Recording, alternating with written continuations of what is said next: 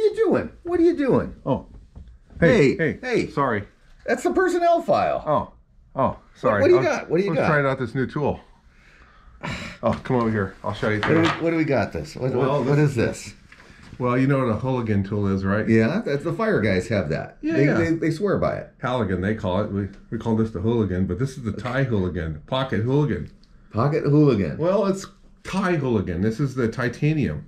Oh shoot. Okay. Yeah, we had the, our, our shop did this. So- they made a miniature one, and guys are using it for moving the big machinist vise around because they sometimes the vices are heavy and stuff. So they're they Sometimes they're heavy. Are they they're, light? they're pretty they're pretty heavy. This is pretty. Anyway, I like it. It's cool. I said, hey, make more, and uh, because it's handy, and uh, who doesn't like a, a hooligan tool? Well, it looks awesome, It, it, right? looks, it looks awesome. it's strong. It's Okay. titanium. But here, you know, it's it's it's not as big as you know. Yeah. I want to make sure people don't think that it's going to be 36 inches. well, here I'll put it in my hand. So it is Okay. overall length. It's eight inches long.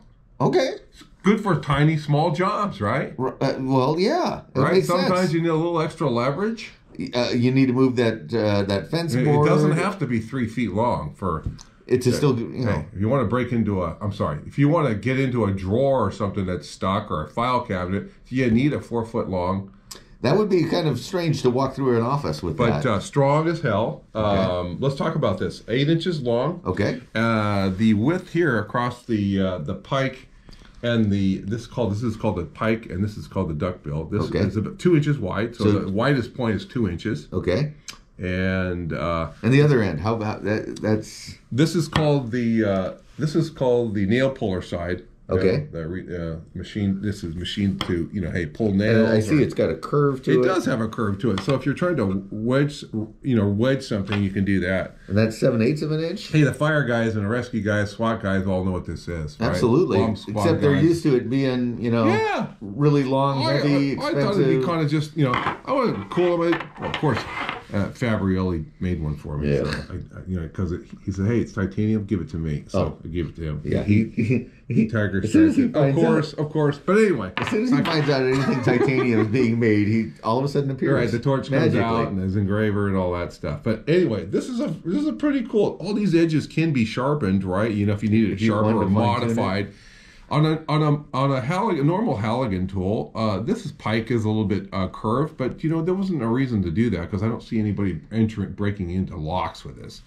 This is just a you know I think This is for office entry. I can see if you were uh, a cabinet guy, Oh. and you're aligning cabinets or putting in doors, uh, and you need a little. Just a hey, I just bit. want to shim to get the door up a little bit. Do you need a big bar? No, this this is gonna probably be suffice.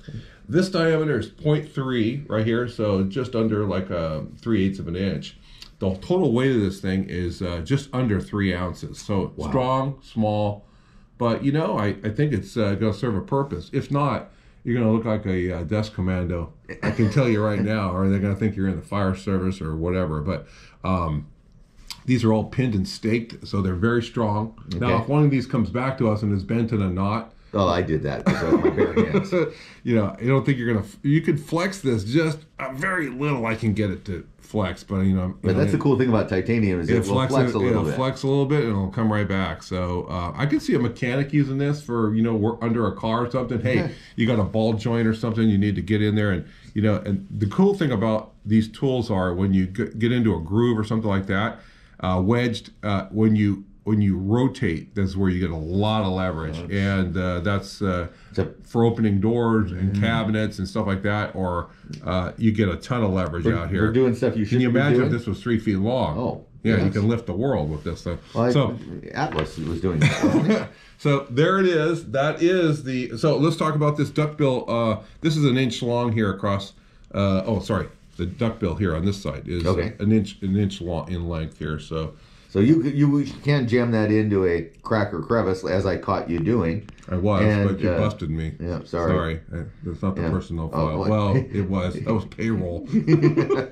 I have the keys in like- my pocket if you want them. But it's pretty cool. Yeah, it's it's, it's I you know I I could see some uses for this, and I you know. I, I have a friend of mine that does cabinets and stuff, and he saw it. And he goes, "Hey, I could use that for lighting up the doors and stuff like that." You know, I'm using. He's using a flat, a pry bar right now, and I, I go, "You got a lot of other options with a, a tool like this."